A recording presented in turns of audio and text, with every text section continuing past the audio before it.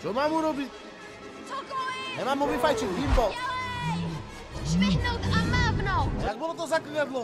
Jak bolo to zaklinadlo? Jednou z najzákladnejších schopností kúzelníka je preklínanie.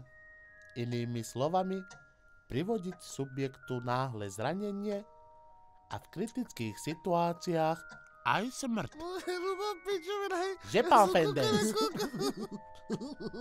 Prepašte, pán učiteľ, jasné. Dôležitým faktorom tohoto kúzla je pohyb zápestím. Švihnúť a mávnuť. Švihnúť a mávnuť. Teraz si to všetci vyskúšajte. Švihnúť a mávnuť. Dobre, decka. A teraz samotné zaklínadlo. Porážka Cekudex!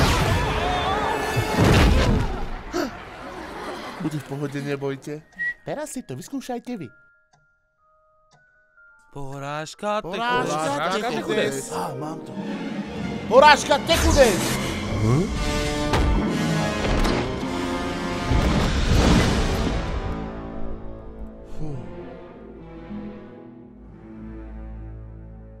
Bože, co to má znamenat? Porážku dostal chudák. Za to můžu